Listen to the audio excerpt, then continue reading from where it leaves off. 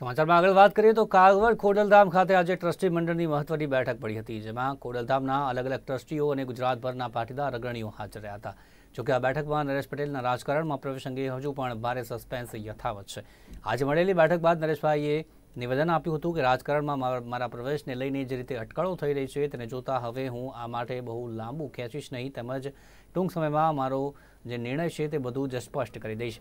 તેમણે ચૂંટણી રણનીતિકાર પ્રશાંત કિશોરને લઈને પણ સ્પષ્ટતા કરી હતી કે પ્રશાંત કિશોર મારા મિત્ર છે અને જો હું રાજકારણમાં જઈશ તો તેઓ મારી સાથે રહેશે. તેમણે વધુમાં એમ પણ કહ્યું હતું કે વડીલો ઈચ્છે છે કે હું રાજકારણમાં ન જોડાઉં, પણ એ એ પણ છે કે બહેનો અને યુવાનો ઈચ્છે છે કે હું રાજકારણમાં જોડાઉં.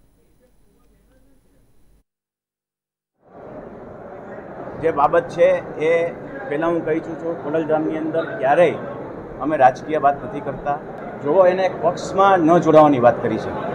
એને એવું નથી કીધું કે રાજકારણની બીજી વાત નથી કરવાના, કે રાજકીય બીજી આગળ વધવાના નથી. એ ઘણી ઘણી પાર્ટી સાથે જોડાયેલા છે. એટલે હું નથી માનતો કે ત્યાં પૂર્ણવિરામ થાય છે.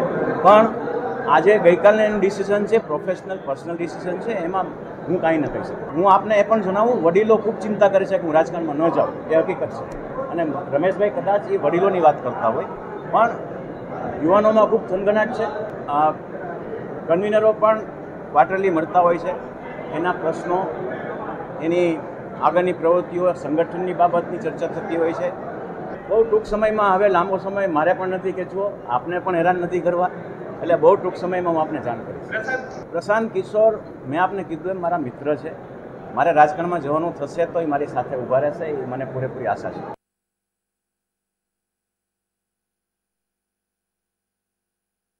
ગુજરાત વિધાનસભાની ચૂંટણીના પડઘમ વાગી રહ્યા છે ત્યારે વિધાનસભાની છોટાઉદેપુર બેઠકના ભારતીય રાષ્ટ્રીય કોંગ્રેસ પક્ષના ધારાસભ્ય અને ગુજરાત વિધાનસભાના સિનિયર ધારાસભ્ય મોહનસિંહ રાઠવાની મુલાકાત લઈને વાત કરતા તેઓએ આગામી વિધાનસભાની ચૂંટણી હવે તેઓ પોતે નહીં લડે તેવી જાહેરાત કરી હતી અને તેઓએ હવે વિધાનસભાની ચૂંટણીમાં યુવાનોને તક મળવી જોઈએ એમ સ્પષ્ટ રીતે